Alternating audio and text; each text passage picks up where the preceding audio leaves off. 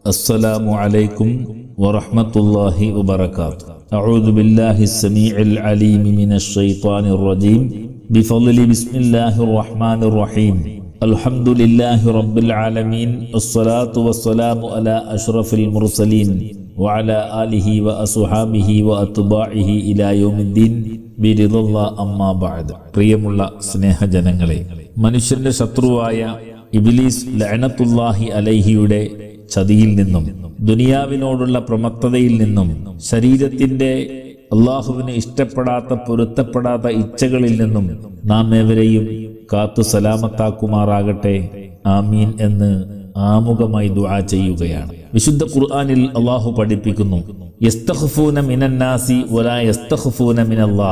അവർ ജനങ്ങളിൽ നിന്ന് കാര്യങ്ങളൊക്കെ ഒളിച്ചു വെക്കുന്നു എന്നാൽ അള്ളാഹുവിൽ നിന്ന് ഒന്നും ഒളിക്കാൻ ഒരാൾക്കും കഴിയുകയില്ല. ഗൂഢാലോചനകളും നിഗൂഢതലും നിഗൂഢതകളുമുള്ള ആളുകൾ വിജനമായ നിശയുടെ നിശബ്ദതയുള്ള മറ്റാളുകൾ ശ്രദ്ധിക്കാത്ത സ്ഥലത്ത് ഒരുമിച്ച് കൂടുകയും പല പദ്ധതികളും ആവിഷ്കരിക്കുകയും ചെയ്യാറുണ്ട്. യഥാർത്ഥത്തിൽ എല്ലാം കാണുകയും കേൾക്കുകയും അറിയുകയും ചെയ്യുന്ന അള്ളാഹു സുബാനഹുവലയെ മറച്ചുകൊണ്ട് ഒരാൾക്കും ഒന്നും ചെയ്യാൻ കഴിയുകയും അതാ അള്ള പറഞ്ഞത് ഇത് യുബയ്യൂന മാല ഖൗൽ അള്ളാഹുവിന് ഇഷ്ടപ്പെടാത്ത വർത്തമാനങ്ങൾക്ക് വേണ്ടി രാത്രി അവർ ഗൂഢാലോചന നടത്തുമ്പോൾ അവൻ അവിടെ തന്നെയുണ്ട്.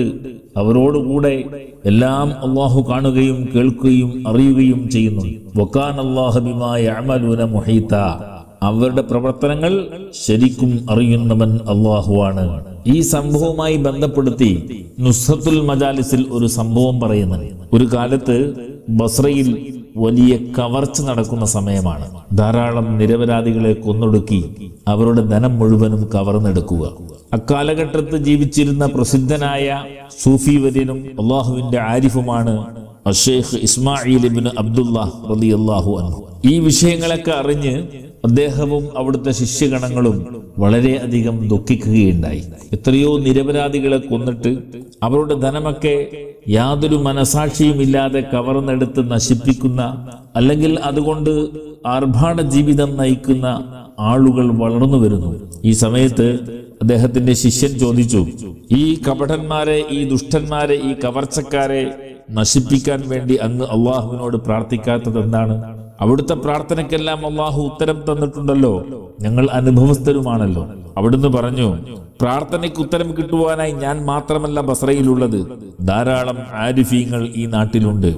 അക്കൂട്ടത്തിൽ ഏറ്റവും പ്രസിദ്ധനായ ഒരു മഹാനെ ഞാൻ നിങ്ങൾക്ക് പരിചയപ്പെടുത്തി തരാം അദ്ദേഹത്തിന്റെ കാലെന്ന് പറയുന്നത് കാഫുമലയ്ക്ക് മുകളിലാണ്.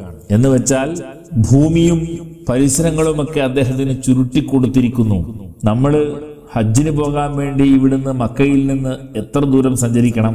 അദ്ദേഹത്തിന് ഈ നിമിഷം തന്നെ മക്കയിൽ എത്താൻ കഴിയും. അവരൊന്നും ഈ കവർച്ചക്കാരെ നശിപ്പിക്കാൻ വേണ്ടി അള്ളാഹുവിനോട് പ്രാർത്ഥിക്കുന്നതായി എനിക്ക് കേൾക്കാനോ അറിയാനോ കഴിഞ്ഞിട്ടില്ല. പിന്നെ ഞാൻ എങ്ങനെയാണ് അള്ളാഹുവിനോട് പ്രാർത്ഥിക്കുക?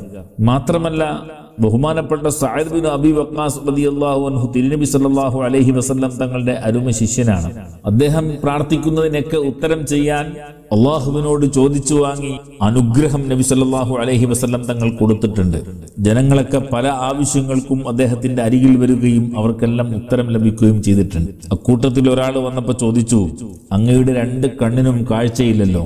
അള്ളാഹു സുബാനഹുവത്ത് അങ്ങൊന്ന് കൈ ഉയർത്തിയാൽ അപ്പോൾ ഉത്തരം ലഭിക്കുന്നുണ്ട്.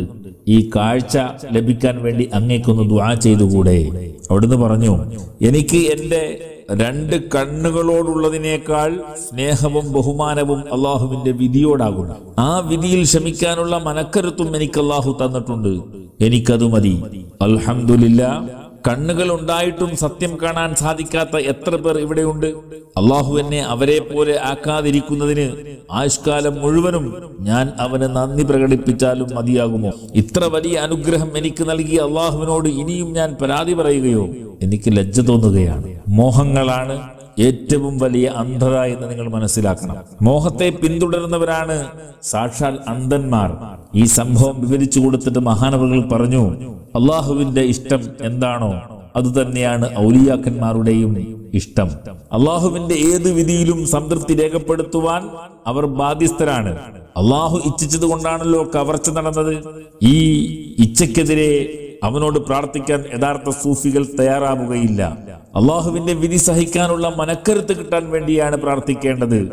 കഷ്ടപ്പാടും ദുരിതവും സഹിക്കാൻ പരിശീലനം നേടുകയാണ് സൂഫികളുടെ ജോലി. അവർ തന്നിഷ്ടങ്ങളുടെ അടിമകളല്ല. എന്നാൽ തന്നിഷ്ടം അവരുടെ അടിമയാണ്.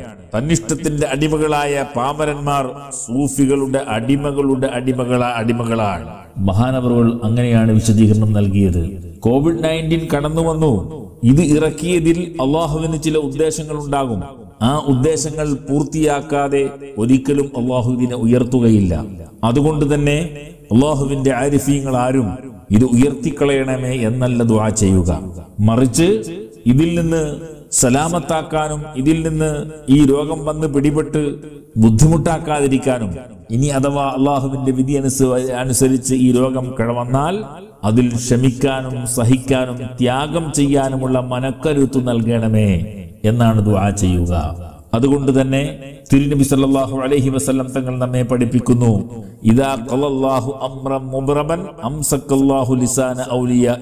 അള്ളാഹുവിന്റെ ഫൈനൽ തീരുമാനങ്ങൾക്കെതിരിൽ ഒരിക്കലും അള്ളാഹുവിന്റെ ഔലിയാക്കന്മാർ അള്ളാഹുവിന് മാറ് കാണിക്കുകയില്ല. അള്ളാഹുവിന് എതിര് കാണിക്കുകയില്ല. അവരൊന്നും മിണ്ടുകയില്ല നിശബ്ദരായിരിക്കും. പണ്ട് ഒരാളെ തോപ്പിക്കാൻ വേണ്ടി ബഹുമാനപ്പെട്ട അന്തുറുമസ്താൻ ജീവിച്ചിരിക്കുന്ന കാലഘട്ടമാണ്. രാഷ്ട്രീയപരമായി അദ്ദേഹത്തെ തോൽപ്പിക്കാൻ വേണ്ടി പലതവണ മഹാനവരോട് പറഞ്ഞു അദ്ദേഹം ഒന്നും അതിനെതിരെ സംസാരിച്ചില്ല മിണ്ടിയില്ല. ഫലം വന്നപ്പോ തോൽക്കാൻ വേണ്ടി പറഞ്ഞ ആൾ വലിയ ഭൂരിപക്ഷത്തിൽ വിജയിക്കാനുണ്ട് എത്രയോ ദൃഷ്ടാന്തങ്ങളാണ് അള്ളാഹു സുബാനഹുവത്ത ആല ഓരോ സംഭവത്തിലൂടെയും നമ്മെ പഠിപ്പിക്കുന്നത്. അതുകൊണ്ട് തന്നിഷ്ടത്തിന് വഴിപ്പെടാതെ അള്ളാഹുവിന്റെ വിധിയെ ഏറ്റുവാങ്ങുമ്പോൾ ക്ഷമിക്കാനും സഹിക്കാനുമുള്ള കരുത്തിന് അതിൽ ആപതിച്ചു കഴിഞ്ഞാൽ അള്ളാഹുവിന്റെ വണ്ണമായ പ്രതിഫലം ലഭി ലഭിക്കുവാൻ വേണ്ടിയാണ് നാം ഓരോരുത്തരും ദുആ ചെയ്യേണ്ടത്. അള്ളാഹു സുബാനഹുവത്താല അള്ളാഹുവിന്റെ പരീക്ഷകളിലും പരീക്ഷണങ്ങളിലും നമ്മെ വിജയിപ്പിക്കുകയും സഹനവും ക്ഷമയും മനക്കരുത്തും തന്ന് അള്ളാഹു നമുക്ക് എല്ലാവർക്കും റഹ്മത്തും റാഹത്തും നൽകുമാറാകട്ടെ. ആമീൻ എന്ന് ദുആ ചെയ്തുകൊണ്ട് വാക്കുകൾക്ക് വിട പറയുന്നു. വ ദഅവാനാ അനിൽ ഹംദുലില്ലാഹി റബ്ബിൽ ആലമീൻ. അസ്സലാമു അലൈക്കും വറഹ്മത്തുള്ളാഹി വബറകാതുഹു.